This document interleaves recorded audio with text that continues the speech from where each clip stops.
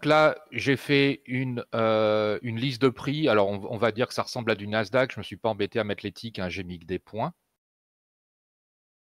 Et en fait, j'ai du texte qui est pré-préparé là-dedans. Donc, disons que le meilleur vendeur, celui qui vend au prix le plus bas, est prêt à vendre à 16 000. De l'autre côté, on a le meilleur acheteur qui est prêt à acheter, mais à 15 999. Donc, les deux ne sont pas d'accord sur le prix. Et vous nous entendrez souvent en, footprint, mais même dans d'autres éléments, parler de, diagonale. C'est ça qu'on entend par la diagonale. Parce que tout de suite, euh, le niveau de prix, il est là. Et on a l'acheteur et le vendeur qui sont pas d'accord sur le prix. Donc là, j'ai mis 8. Ça veut dire que un ou plusieurs vendeurs sont prêts à vendre leur Nasdaq à 16 000. Après, on a une deuxième série de vendeurs, enfin un ou plusieurs vendeurs qui sont prêts à vendre à 16 001. OK? Donc les gens qui vendent à 16 001, ils savent bien, ils se rendent bien compte que pour vendre leurs produits, il va d'abord falloir que cela dégage. Parce que si un acheteur débarque maintenant, bah, il ne va pas acheter à 16 001, puisqu'il y en a à vendre à 16 008. OK? Et là, j'ai rajouté d'autres chiffres. Donc, on a le, le, troisième meilleur vendeur, quatrième meilleur vendeur, etc., etc., etc. Du côté de l'achat, c'est la même chose. On a le meilleur acheteur qui est prêt à acheter à 15, à 15 999. En dessous, on a le deuxième acheteur. Et ces gens-là, avec les, 12 contrats qu'on a ici, ils savent bien que pour pouvoir acheter, il va d'abord falloir que ceux qui sont prêts à acheter un peu plus cher aient dégagé du marché. OK? Donc là, j'en ai rajouté d'autres. Et ce que je suis en train de dessiner, et j'espère que c'est à peu près clair pour tout le monde, mais c'était le but de la présentation, c'est le fameux DOM. Alors, d'ailleurs, anecdote, les Anglais disent pas DOM, ils disent DOME parce que c'est le depth of market. Ce sont les fameux ordres limites. Donc, ce sont des ordres en attente. Donc, euh, nous, on n'est pas dans le carnet parce qu'on est souvent en simulation, mais imaginez que vous êtes sur le marché réel. Si vous placez un ordre limite à 16 003, bah, le 9 va se transformer en 10. OK? Là, on parle d'acteurs et d'ordre passif. Pourquoi? Parce que tout de suite, si rien ne se passe, il n'y a pas l'autre type de d'acteur qui arrive, bah, rien ne se passe, le prix ne bouge pas. Ça, ce sont tous des offres, euh, des ordres qui sont en attente à l'achat. Les gens sont prêts à acheter et ces gens-là sont prêts à vendre. Mais tous ces ordres sont des ordres en attente. Ils attendent que quelque chose se passe. Euh, et en tant que tel, encore une fois, si le dimanche matin, les clients ne sont pas encore là, ben, les stands sont là, mais il se passe strictement rien. Et parce que c'est un terme technique qu'on utilise souvent, les fameuses données level 2, donc, si sur votre DOM, enfin, c'est le carnet aussi, hein, tout simplement, ce qu'on est en train de regarder, pour voir plusieurs lignes, donc pour voir ces lignes-là et ces lignes-là, c'est là qu'il vous faut ce qu'on appelle le level 2. Si vous n'avez pas le level 2, vous allez, vous n'allez voir que le bid et le ask actuel. Donc là, en l'occurrence, le 6 et le 8. OK Ce côté-là, le côté des vendeurs, on appelle ça le ask. Ce côté-là, le côté des acheteurs, on, offre, on appelle ça le bid.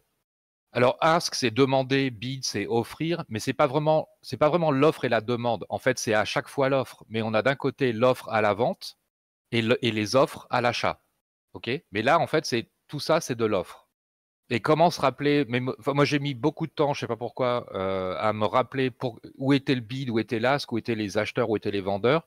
Et en fait, le ask, donc demander en anglais, il faut le comprendre comme le prix que les vendeurs demandent aux acheteurs pour accepter de se débarrasser de leur NQ.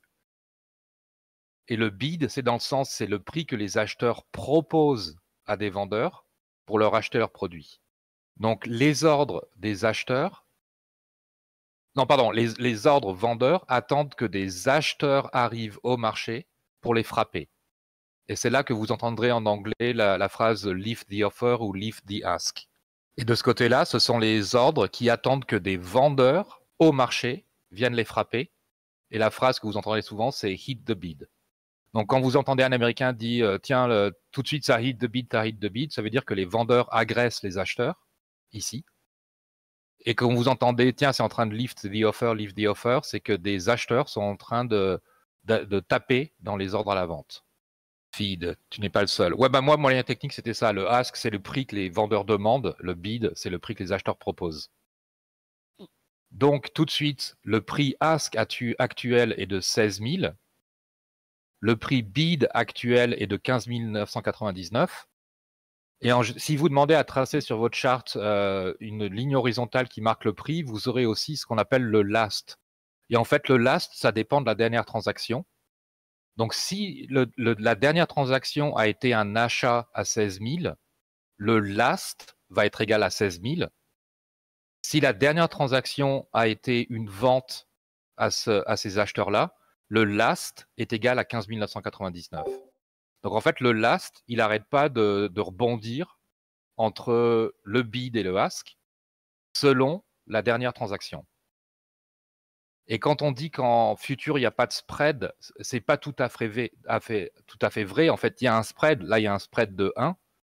Mais ce qu'on entend parce qu'il y a par il n'y a pas de spread, c'est qu'il n'y a pas entre le l'ask et le bid un espace qui est créé par le broker.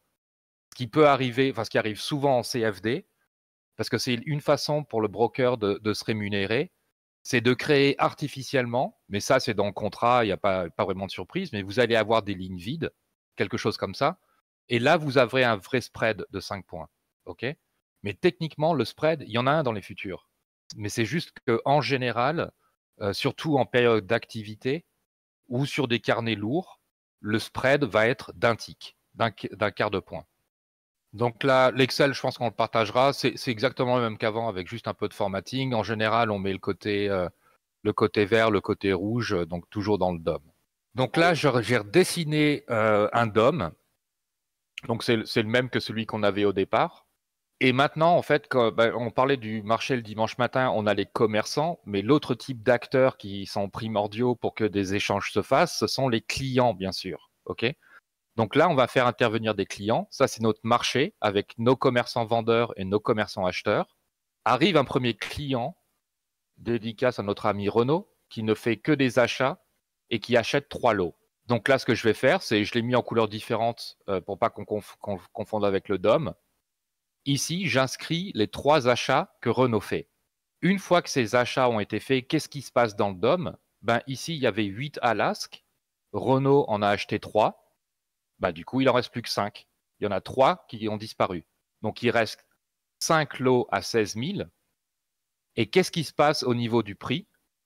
Ben, Si la transaction précédente avait déjà été un achat, donc le last était déjà à 16 000, ben, il ne se passe strictement rien. Si la dernière transaction avait été une vente, le last est juste passé du bid à l'ask. Donc il est passé de 15 999 à 16 000. Mais à part ça, il ne s'est rien passé. Au revoir Renault.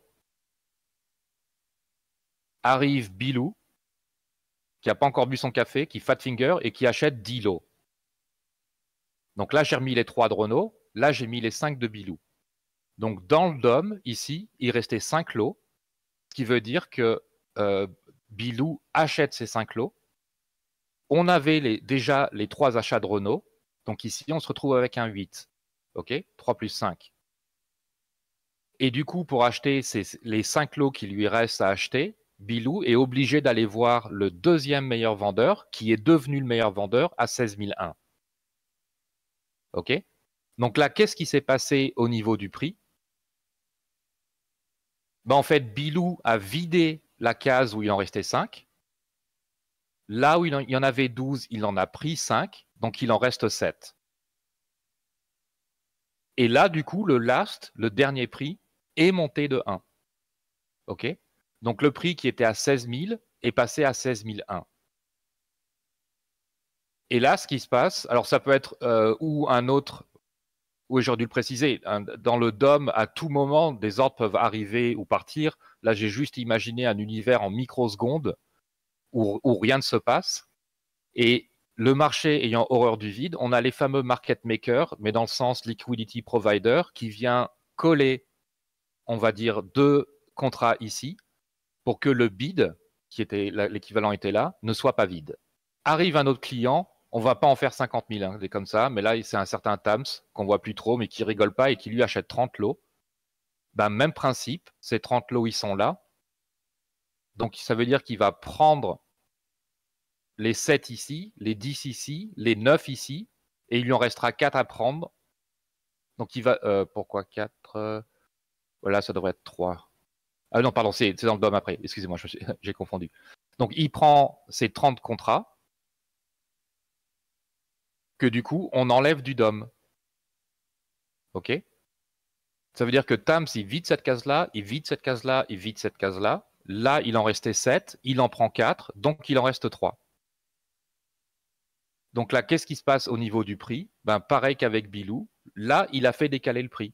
Le prix est, monté à, est monté à 16 Et même chose, pour simplifier, je mets que des deux, mais on a un market maker qui vient euh, remplir les cases ici. Là, pour aller plus vite, on va dire, arrive toute une série de vendeurs qui veulent vendre 50 lots. Donc 50 lots, ils sont là. Et ça veut dire quoi? Ça veut dire que ces vendeurs, ceux ou ces vendeurs-là, viennent vider 50 lots ici.